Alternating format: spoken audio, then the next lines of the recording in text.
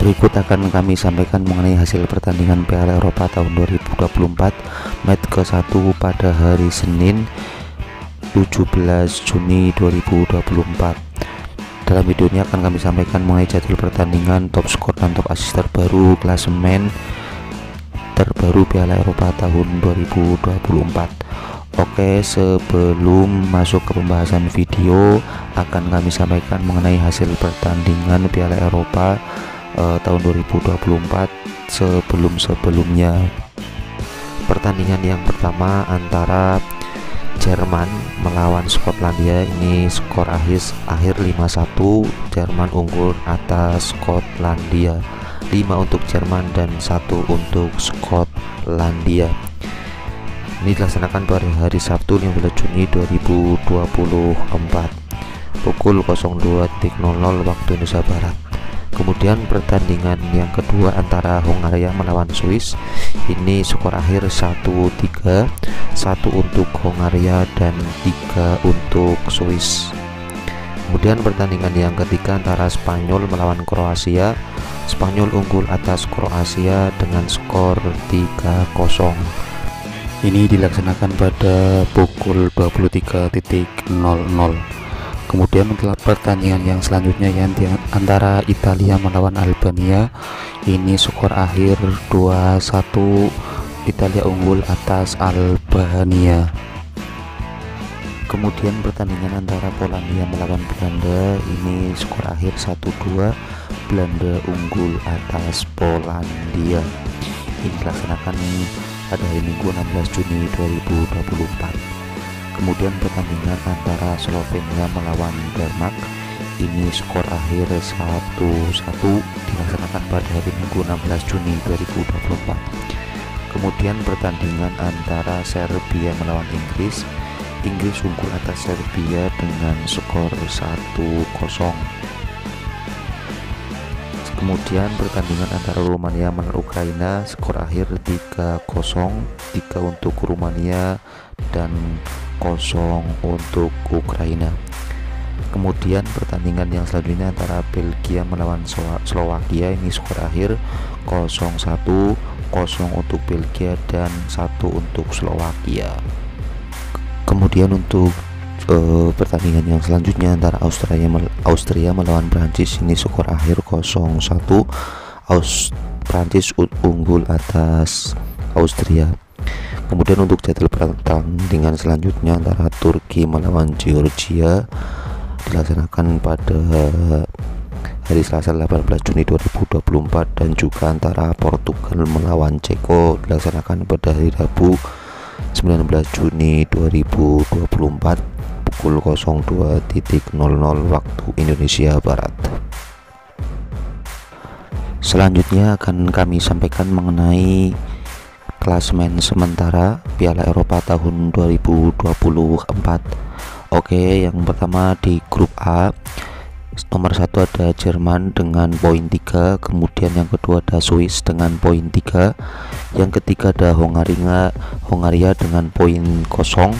yang keempat ada Skotlandia dengan poin kosong. Kemudian klasemen di grup B yang pertama ada Spanyol dengan poin 3 kemudian yang kedua ada Italia dengan poin 3 yang ketiga ada Albania dengan poin kosong. Dan yang keempat ada Kroasia dengan poin kosong. Kemudian di grup C yang pertama ada Inggris dengan poin 3 kemudian ada Denmark dengan poin 1 yang ketiga ada Slovenia dengan poin 1 yang keempat ada Serbia dengan poin kosong Kemudian di grup D yang pertama ada Belanda dengan poin 3, yang kedua ada Austria dengan poin kosong, yang ketiga ada Prancis dengan poin kosong, dan yang keempat ada Polandia dengan poin kosong. Kemudian di grup F yang pertama ada Rumania dengan poin 3, kemudian yang kedua ada Slovakia dengan poin 3, yang ketiga ada Belgia dengan poin kosong dan yang keempat ada Ukraina dengan poin kosong. Dan yang terakhir di grup F yang pertama ada Turki dengan poin kosong yang kedua ada Georgia dengan poin kosong yang ketiga ada Portugal dengan poin kosong dan yang keempat ada Ceko dengan poin kosong. Demikian mengenai klasemen uh, sementara Piala Eropa tahun 2024 yang selanjutnya akan kami sampaikan mengenai top skor Piala Eropa tahun 2024 yang pertama ada Alvaro Morata dari Spanyol dengan jumlah gol 1 kemudian ada Brel Embolo dari Swiss dengan jumlah gol 1